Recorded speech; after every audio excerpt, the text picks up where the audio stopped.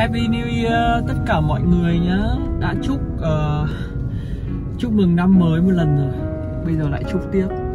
Cái vlog này sẽ là vlog đầu tiên của năm 2020 Hiện tại là 11 giờ 18 của ngày uh, của đêm 30 Tôi không trong cái đạo nào cả Chứ tôi không đến nhà thờ và tôi cũng không đến chùa.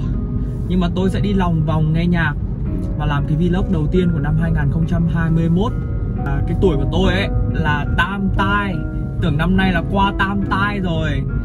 Nếu mà các bạn nào mà tuổi xỉu ấy Thì năm nay là tam tai nặng nhất. Còn tôi là tuổi dậu.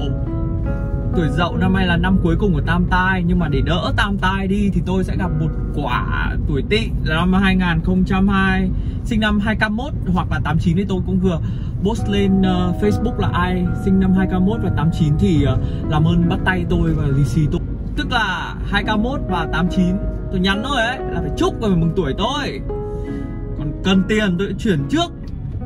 Mừng tuổi Để tôi qua cái đạn tam tai này đi, Vì năm nay tôi rất là nhiều kế hoạch Để lấy lại nguồn năng lượng tích cực cho bản thân. Lớn thì tôi càng sợ Tết các ông ạ. Sợ vô cùng tận. Bởi vì, Ôi ma cha mạ ơi. Thứ nhất nhá, Là các câu hỏi Diễn biến theo từng giai đoạn.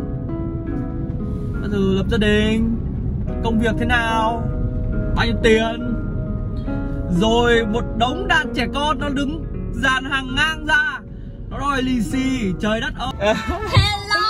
Ôi rồi Happy New Year. Chúc mừng năm mới một năm mới đây là người à, gọi là mang à, may mắn của năm nay. Bắt tay. Yeah. Nào bắt bắt tay nhá. Chúc mừng năm mới. Coi như là chúc em năm nay thành công này sinh này thành công giảm cân này thành Dạ. công ở giọng hát này thành công ở đường tình duyên và thành công ở đường sự nghiệp. Em sẽ chúc anh có một năm mới thật là thành công với à, những bước à, đột phá thật là mới mẻ thật là mạnh mẽ hơn trong khỏe khoắn hơn. thập kỷ qua. Khỏe khoắn hơn. Yeah. Woo! nếu không khỏe khoắn em biết phải thế nào?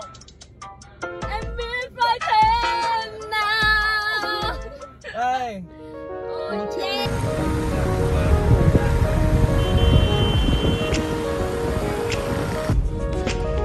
Các bác ơi các bác nhìn này lần đầu tiên trong lịch sử nhá.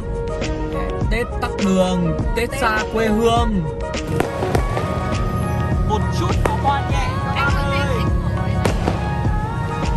Đẹp quá nè.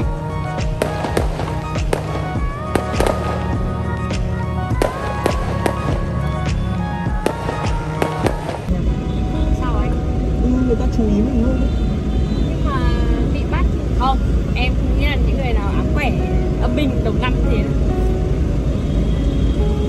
Vẫn hỏi vì sao em không yêu anh như ngày hôm nào Vẫn hỏi vì sao em không yêu anh như lời em nói ngày nào?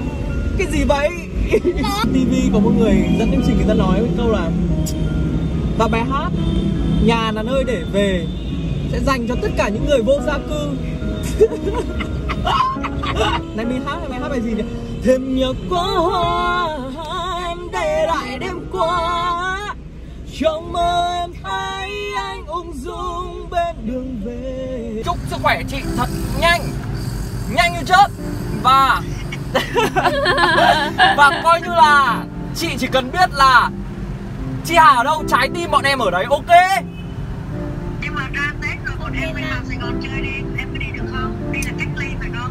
Không cách ly thì không cách ly nhưng mà ờ, sinh nhật chị Hà em sẽ có mặt tại Sài Gòn. Em hứa xin thề xin hứa và xin đảm bảo đó.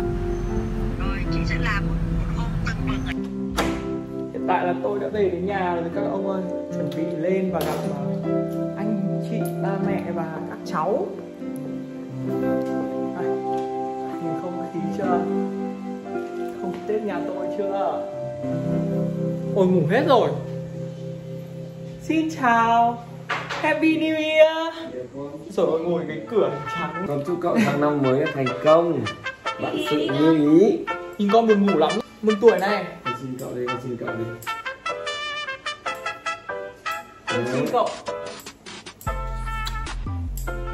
Bật chân lên đi nhá Và mừng tuổi mẹ này. Chúc mừng là năm mới ừ, Vi ơi thầy mày quay đang mặt ủ rũ cười tươi ngay